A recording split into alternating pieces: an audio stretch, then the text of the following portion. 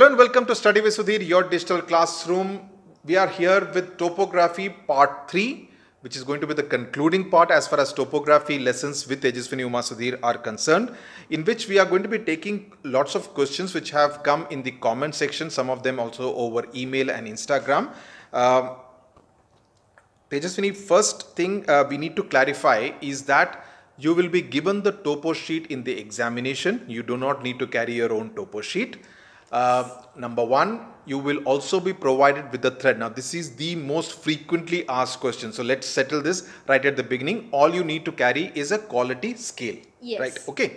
Then, uh, the other things that you need to uh, wanted to uh, clarify about. Now, the other question, one of the questions that has been asked is if while measuring, if while measuring the six figure grid with a scale, we get 11 centimeter on the scale. So, while converting it into a six figure grid reference, do we round it off to 6 or to 5 as 11 by 2 is 5.5? Okay, so 11 by 2 is 5.5. You can consider 6. 6, not 5 because many times what happens is that if it is between 10 and 11, the 10 may not be touching. So, it's more likely towards 11. So, in this case, taking 6 would be uh, more advisable. Okay. Yes. Then the other question which has been asked is uh, in topography where they are asking to give four figure grid reference of a particular settlement. In some cases the settlement lies between two easting or northing. How should we approach? So in this case both will be accepted, right? Yes, both will be accepted. The another frequently asked question is about the direction of flow of the river. You need to write always when it comes about a river from the direction from and also to. The flow For of the river has to be indicated. northeast to southwest. Yes. Both has from and to has to be mentioned. Yeah, but when it comes to uh, A settlement. a settlement, only the towards, is required. Yeah. If you say only it's towards Yeah. the direction, that that is Yeah. uh, sufficient. if you mention both, your marks are not going to be deducted. But if you write just towards, that will suffice as far as settlements is concerned. Now, what are the other things, Tejaswini, that they need to take care of? So then, uh, one of the main things you need to uh, learn is symbols. There are several symbols that are given in the textbook and which are used in your uh, topographical map. Um, you know, from uh, metal roads and unmetal roads, broad gauge, and you know the different uh, you know. Uh, uh, train uh, tracks and bridges and tunnels and water bodies and water features very important then there are certain definitions also of these symbols which are which you will need to learn for example brackish brackish is the well water which is uh, unfit for human or animal consumption. So such definitions you will have to learn. Brackish you'll have to learn. You'll have to know the uh, you'll have to recognize the different symbols. For example a perennial tank or you know A uh, seasonal tank. Exactly, and um, causeway is another definition you'll have to know because uh, suppose they give you, um, they say they give you a particular grid reference, and then they ask you what is the feature uh, that is represented in that grid and define define it. Suppose it's a causeway, you'll have to define. So you'll have to know the definition of causeway, broken ground, and um, uh, then again you come to drainage patterns. They may ask you to recognize a particular drainage pattern. So you'll have to uh, you know recognize uh, look at the diagram very carefully. Radial, dendritic, and uh, trell- trellised pattern. Yeah, in fact, in that, uh, one of the other questions which was asked quite frequently was how to identify drainage patterns. So, if you look at the three kind of drainage patterns, one is radial, the second is dendritic, and the third is trelli- trellisized. Now, in this, you see the last one, the trellisized ends rather abruptly, whereas uh, the dendritic has a very tree-like kind of a pattern. So, that is something uh, that, that's how you kind of distinguish. You need to remember uh, this very carefully.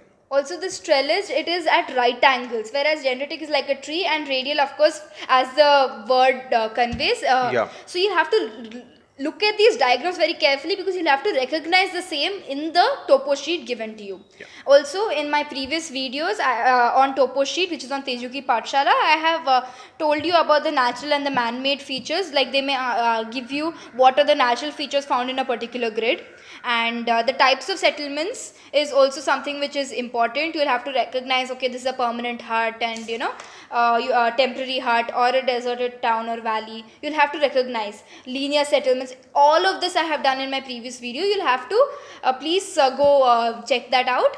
Yeah, all, all those two videos on um, topography have all the details as to how to approach the essential the topo basic, uh, sheets. Yeah, uh, details are given there and then you'll again have to know spot height triangulated heights benchmarks contours is something which uh, people find pretty tough uh, they may ask you what is uh, if you uh, co- contours you'll have to know the definition of a contour first of all.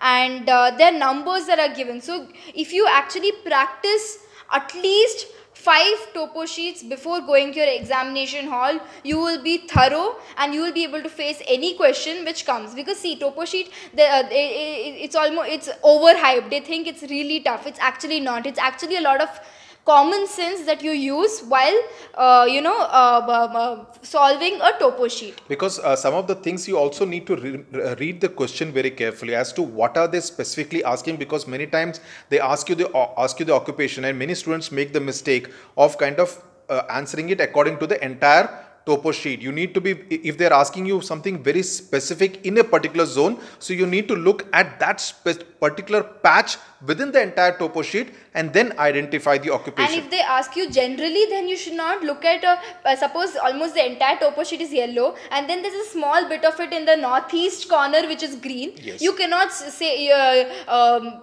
decide your occupation based on just that small green patch, unless they say that you're supposed to tell the occupation in the northeast region of your map. Yeah, so read the question very carefully. So basically, only two tips as far as topo sheets are concerned to get those 20 marks right. Uh, practice as much of topo sheets as possible. Get those practice books. Just keep looking at the questions and practicing them. That would really help you ahead of the examination. And read the questions very, very carefully. Don't be in a hurry because teachers and we also kind of suggest that you should start with the topo sheets because then you can get the topo sheet 20 marks and the map marking 10 marks out of the way within the first 25 minutes to 30 minutes of your uh, examination time.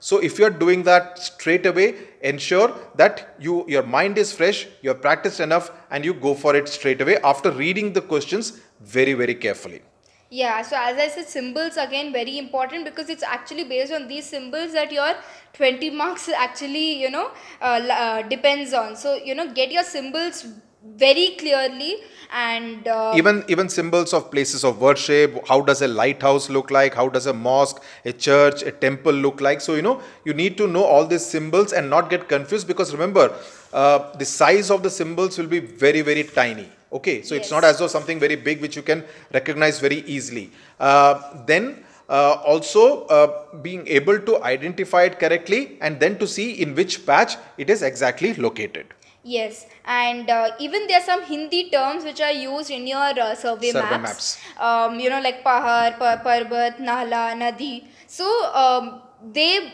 may, uh, uh, you know, it's not necessarily that river this may be written. You know, you'll have to be familiar with these Hindi words as well. these hindi terms also which are also used in the survey of india maps Yes. And uh, colors, I have already spoken about this in my previous video. I have told you about the different colors which are used in the survey maps and what they represent. And based on that, I have also told you about the occup- how you can decide the occupation of the people based on the colors given in the map. So please take a look. Okay, so uh, we do hope that we have addressed um, a majority of the questions. One went through all the comments which you had sent and kind of picked Uh, up these comments. Yes. Yeah, one more thing. While you're answering, there was one co- comment which asked, uh, uh, "Are we supposed to use the, uh, you know, answer uh, Yeah. full sentence or just the Word. Word. Yeah. You just only the word is also accepted. Yeah, you don't really need to kind of write the entire sentence and consume those extra few, Few seconds. You can just write the this thing, but ensure while doing that because many students in previous examination have made the mistake of getting the order of the uh, questions wrong. You know, uh, don't do that. Be very careful about these small small things because all this, even the small mistakes, because then students have been writing to me asking whether we would lose marks. See, it's really for the examiner. If it's someone uh, a bit of a lenient examiner, he or she may just overlook that. But if someone who is a little strict and does and wants to be going strictly by the book, your marks you may lose your marks. So be very careful when you are writing the one to ten. Okay, so that's as far as the, uh, replying to many of your doubts, queries is concerned. I hope we have Uh, addressed one a majority thing, of them. Uh, in direct and indirect distance, the thread is used. Uh, yeah, when you, while you're using the thread, it has to go along the path.